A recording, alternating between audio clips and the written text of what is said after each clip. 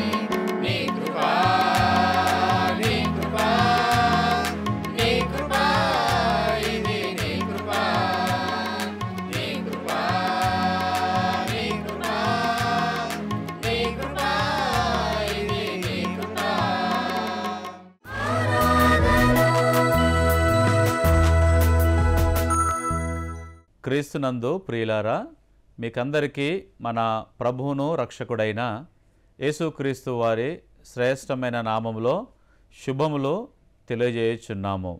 రండి మనమందరము కలిసి దేవుని వాక్యాన్ని ధ్యానము చేసుకుందాము. పరిశుద్ధ గ్రంథమైన బైబిల్లో నుండి కీర్తనల గ్రంథము ముప్పై ఆరవ అధ్యాయము ఏడవ వచనాన్ని మనము ధ్యానము చేసుకుంటాము. ఈ విధంగా వ్రాయబడి ఉంది. దేవా నీ కృప ఎంతో అమూల్యమైనది. నరులు నీ రెక్కల నీడను ఆశ్రయించుచున్నారు. క్రీస్తునందు ప్రియులారా కీర్తనాకారుడైన దావీదు ఈ విధంగా సెలవిస్తున్నాడు. దేవా నీ కృప ఎంతో ఉన్నతమైనది. నరులు అనగా మానవులందరూ నీ రెక్కల నీడలో ఆశ్రయము పొందుచున్నారు అని భక్తుడైన దావీదు కీర్తనల గ్రంథంలో వ్రాస్తూ మనకు తెలియపరచుచున్నాడు. దేవుని యొక్క రెక్కల నీడలో మానవునికి ఆశ్రయం కలుగుతుంది అని వాక్యంలో మనము చదువుకుంటూ ఉన్నాము. కాబట్టి ఈ దేవుని రెక్కలు మానవునికి ఏ విధంగా ఆశ్రయము ఇవ్వగలుగుతాయి అనే సంగతిని మనం ఇప్పుడు బైబిల్లో నుండి ధ్యానము చేయబోతున్నాము. మొట్టమొదటిగా దేవుని రెక్కలో మానవుని కొరకై సిద్ధపాటు చేసినటువంటి గొప్ప ఆశీర్వాదములను మనము బైబిల్ గ్రంథంలో నుండి చదువుకుందాము. మొట్టమొదటిగా మత్తేసు వార్త ఇరవై మూడవ అధ్యాయము ముప్పై ఏడవ వచనంలో ఈ విధంగా వ్రాయబడి ఉంది. ప్రభు అయిన యేసుక్రీస్తు వారు ఈ విధంగా సెలవిచ్చారు. ఎరుషలేమా ఎరుషలేమా నేను నీ వద్దకు అనేక మంది నా ప్రవక్తలను సేవకులను పంపించి తిని అయితే నీవు వారిని రాళ్ళతో కొట్టుచు చంపుచూ ఉండుతూ నీవెంతో దుస్సాహసం చేయుచున్నావని వాక్యము సెలవిస్తూ ఉంది. అంత మాత్రమే కాకుండా కోడి తన పిల్లలను రెక్కల క్రిందకి చేర్చుకొనున్నట్లు అనేక మారులు నేను నీ వద్దకు వచ్చి ఇంటిని కానీ నీవు నన్ను తృణీకరించితివని మత్తయి శుభవార్తలో యేసుక్రీస్తు ప్రభువారు ఎంతో దుఃఖంతో మాట్లాడుచూ ఉన్నారు. కాబట్టి కోడే తన పిల్లల క్రిందికి ఏ విధంగా రెక్కలు చాచి చేర్చుకోవాలని ఆశ కలిగి ఉంటుందో అదేవిధంగా ప్రభు అయిన యేసుక్రీస్తు వారు ఎరుషలేములో ఉన్న ప్రజల యొద్దకు రక్షణ సువార్త నిమిత్తం మారు మనస్సు నిమిత్తం పాప క్షమాపణ నిమిత్తం అనేక మార్లు వారి యొద్దకు వచ్చను గాని వారు ఆయనని తృణీకరించారు. కాబట్టి ప్రియులారా ఈ రెక్కలు మనకి ఏం జ్ఞాపకం చేస్తున్నాయి అని అంటే రక్షణ కొరకైన రెక్కలు సర్వ మానవాళి కొరకు ప్రభు అయిన యేసుక్రీస్తు వారు కలువరి శిలువలో వారు వ్రేలాడి పరిశుద్ధమైన రక్తమును చెందించి సమాధి చేయబడి మూడో దినాన్న మరణమును గెలిచి వారు తిరిగి లేచారు. యేసుక్రీస్తు ప్రభువు మరణము నుండి తిరిగి లేవడం ద్వారా మానవుని కొరకు విలువైన రక్షణను సిద్ధపరిచారు. రక్షణ అనగా శిక్షను తప్పించుకోవడమే రక్షణ. ఎవరికి శిక్ష? దేవుని గ్రంథమైన బైబిల్ ఈ విధంగా సెలవిస్తుంది. ఏ భేదము లేదు. సర్వ మానవులు పాపము చేసి దేవుడు అనుగ్రహించే మహిమను పొందలేకపోవచ్చున్నారని. దానితో పాటు పాపము వలన వచ్చు జీతము మరణము నరకము అగ్నిగుండమని గ్రంథమైన బైబిల్ స్పష్టంగా తెలియజేస్తుంది. కాబట్టి నిత్య నరకాగ్నికి వెళ్ళిపోతున్న మానవుణ్ణి విమోచించుట కొరకే యేసుక్రీస్తు ప్రభు ఈ లోకానికి వచ్చి రెండు చేతులు చాచి వారిని ఆహ్వానిస్తూ ఉన్నాడు. కానీ ఇరుషలేములోని తన ప్రజలు తన స్వకీయ జనులు ఆయనను తృణీకరించారు. రక్షణకు వారు వెలుపల ఉండి ఆయనను సిలువ వేశారు. కావున కరుణా సంపన్నుడైన దేవుడు ఈ రెక్కలు ఏమి జ్ఞాపకం చేస్తున్నాయి మనకు అని అనగా సర్వ మానవాళి కొరకై సిద్ధపరిచిన రక్షణను సిద్ధపరుస్తూ ఉన్నాయి. కాబట్టి ఎవరైతే యేసుక్రీస్తు ప్రభువునందు విశ్వాసం ఉంచి ఆయన శిలువ దగ్గరికి వస్తారో వారు రక్షింపబడతారు వారికి ఏ శిక్షా విధి లేదు అనే సంగతి ఈ రెక్కలు మనకు జ్ఞాపకము చేస్తూ ఉన్నాయి. రెండవది ప్రభు అయిన యేసుక్రీస్తు వారి రెక్కల నీడలో మానవునికి ఏ విధంగా ఆశ్రయం కలుగుతుంది అని మనం ఆలోచన చేస్తే దేవుని గ్రంథమైన బైబిల్లో నుండి నిర్గమాకాండము పంతొమ్మిదవ అధ్యాయము నాలుగవ వచనంలో ఈ విధంగా వ్రాయబడి ఉంది. దేవుడైన యహోవా ఇస్రాయేల్ ప్రజలతో ఈ విధంగా మాట్లాడుతూ అంటాడు నేను ఐగుప్తులో నుండి మిమ్ములను ఏ విధంగా విడిపించి తినో? అనగా గ్రద్ద రెక్కల మీద మిమ్ములను మోసుకొని నేను కానానుకు బయలుదేరి వచ్చి తిని అనే వాక్య భాగాన్ని మనం అక్కడ చదువుకుంటాం. క్రీస్తునందు ప్రియులారా ఈ రెక్కలు రెండవ ఆశీర్వాదాన్ని ఎలా కలగజేస్తున్నాయంటే అవి మనల్ని మోసే రెక్కలుగా కనిపిస్తూ ఉన్నాయి. కనుక ఇస్రాయేల్ ప్రజలు నాలుగు వందల ముప్పై సంవత్సరాలు ఐగుప్తులో బానిసలుగా ఉన్నారు. అయితే దేవుడైన యహోవా వారి మొరను వారి మూలుగులను విని వారిని విడిపించాడు. ఐగుప్తు దేశంలో నుండి వారిని గ్రద్ద రెక్కల మీద తన పిల్లలను మోసుకొని వచ్చినట్లు ఇస్రాయేల్ జనాంగమును ఆయన మోసుకొని వచ్చినట్లు వాక్యంలో మనకు అర్థమవుతూ ఉంది. కాబట్టి క్రీస్తునందు ప్రియులారా ఈ రెక్కలో మనకు రక్షణ కల్పించడమే కాదు మనల్ని మోసే రెక్కలుగా ఉంటున్నాయి. కాబట్టి దేవుని వాక్యంలో ఈ విధంగా సెలవిస్తూ ఉంది ప్రభువు స్థుతినందును గాక అనుదినము ఆయన మా భారమును భరించుచున్నాడు అనే వాక్యంలో రాయబడి ఉంది. కాబట్టి మన భారములు భరించుట కొరకే యేసుక్రీస్తు ప్రభువు వారి యొక్క రెక్కలు చాచి మనకు ఆయన పిలుపును అందిస్తూ ఉన్నాడు. ప్రయాసపడి భారం మోసుకొనుచున్న సమస్త జనులారా ఏసునొద్దకు రండి మీకు విశ్రాంతి లభిస్తుందని దేవుని వాక్యము సెలవిస్తూ ఉంది. కాబట్టి పాపభారాన్ని శాపభారాన్ని మోస్తున్నటువంటి ప్రజలకు విశ్రాంతినివ్వడానికే యేసుక్రీస్తు ప్రభు రెక్కలు చాచి ఆయన మనల్ని మోయడానికి ఇష్టపడ్డాడు. మీ భారమును నాకు ఇవ్వండి నా విశ్రాంతిని నా సమాధానమును నేను మీకు అనుగ్రహిస్తానని యేసుక్రీస్తు ప్రభువారు వాక్యంలో సెలవిస్తూ ఉన్నారు. కాబట్టి ఈ రెక్కలు మనకు జ్ఞాపకం చేసే రెండవ సంగతి ఏమిటనగా ఈ రెక్కలు మన భారమును భరించుచున్నవి. ఈ రెక్కలు మన భారమును మోయుచున్నవి అని వాక్యంలో స్పష్టంగా మనకు అర్థమవుతూ ఉంది. కనుకనే కీర్తనకారుడు దావీదు ఈ విధంగా వ్రాస్తూ అంటాడు దేవా నరులు నీ కృపచేత నీ రెక్కల యొద్దకు వచ్చి వారు ఆశ్రయం పొందుచున్నారని వాక్యంలో మనకు అర్థమవుతూ ఉంది. చివరిగా మూడవది ఈ రెక్కలు మానవాళికిస్తున్న ఆశీర్వాదం ఏంటి? ఈ దేవుని రెక్కలు మానవునికి ఏ విధంగా ఆశ్రయ దుర్గముగా ఉన్నాయి అని మనం చూస్తే పరిశుద్ధ గ్రంథమైన బైబిల్లో నుండి మలాకీ గ్రంథము నాలుగవ అధ్యాయము రెండవ వచనంలో ఈ విధంగా వ్రాయబడి ఉంది. ఇదిగో మీకు నీతి సూర్యుడు ఉదయించును అతని రెక్కలు మీకు ఆరోగ్యము కలగచేయును కనుక మీరు క్రొవ్విన దూడలు గంతులు వేయినట్లు గంతులు వేస్తూ పరిగెత్తుతారని దేవుని వాక్యంలో సెలవిస్తూ ఉంది. మూడవదిగా ఈ రెక్కలు మానవునికి ఆరోగ్యమును కలిగిస్తున్నాయి. దేవుని వాక్యం సెలవిస్తూ ఉంది నిన్ను స్వస్థపరచు దేవుడను నేనే అనే వాక్యము బైబిల్లో వ్రాయబడి ఉంది. యేసుక్రీస్తు ప్రభువు తన యందు విశ్వాసముంచిన వారికి అలాగే తనను ఎరుగని వారికి కూడా ప్రతి రోగమును ప్రతి వ్యాధిని ప్రతి విధమైన అపవిత్రాత్మలను ఆయన గద్దించు అధికారం కలిగిన వాడై ఉన్నాడు స్వస్థపరిచే అధికారము కలిగిన వాడై ఉన్నాడు. కాబట్టి ఈ రెక్కల క్రిందికి ఎవరైతే చేరి ఆశ్రయం కొరకు వస్తారో వారికి ఖచ్చితంగా ఆరోగ్యము కలుగుతుంది. ఆయన అంటాడు నిన్ను స్వస్థపరచు యహోవాను నేనే. నీకు ఆరోగ్యము కలిగించు దేవుడను నేనే.